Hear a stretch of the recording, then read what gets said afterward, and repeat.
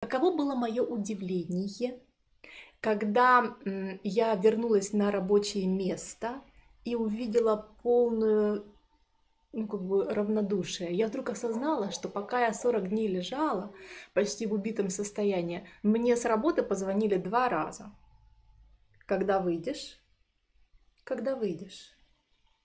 Ты нам не подходишь, оформляй инвалидность. Вот так вот это было. Но когда я пришла в офис, где собирались эти странные люди, что говорили друг другу о программах очищения организма, необходимости использования витаминных продуктов, я вдруг обнаружила, что мой чек, чек – это возвратные деньги, увеличился в два раза. То есть на тот момент, что я падала, в медицине было 50 долларов, а в этой странной организации было 100 долларов доход.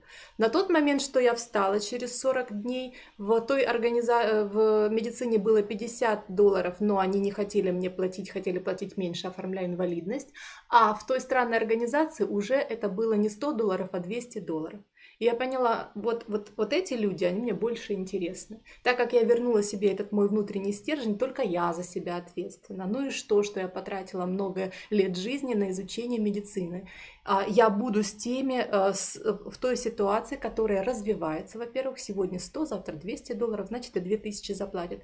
И я буду с теми людьми, которым я нужна. Потому что когда я вернулась в офис, мне прям, мне прям аплодировали, друзья.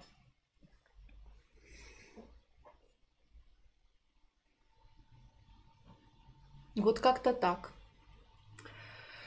Потом, потом, я видела много таких ситуаций на самом деле. И я настолько оборзела, я, да, я удалилась из официальной медицины, я ушла из официальной медицины, ни разу, ни секундочки не пожалела.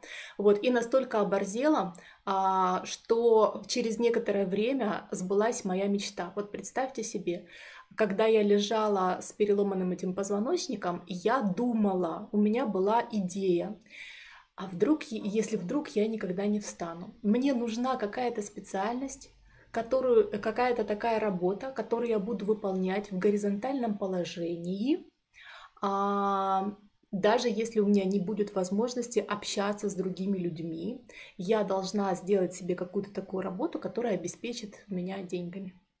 И которая даст моему мозгу информацию интересную, чтобы мне было интересно жить.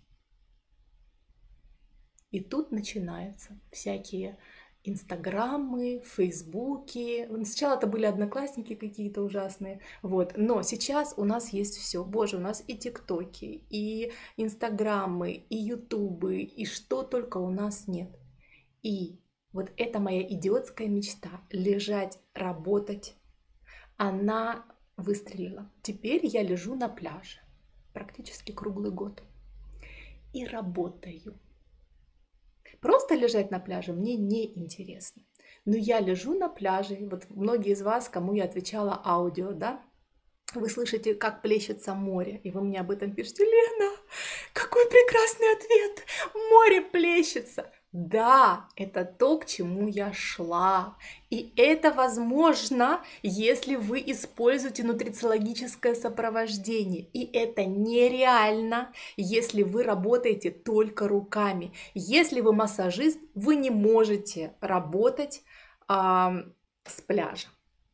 Ну, можете, если, конечно, у вас э, на пляже установка, ну, в смысле стол для массажа, да. Вот. А если вы нутрициолог, присоединили нутрициологическое сопровождение, у вас тысячи семей едят витамины, тысячи семей проходят программу очищения организма в этом году, то вы можете работать с пляжа.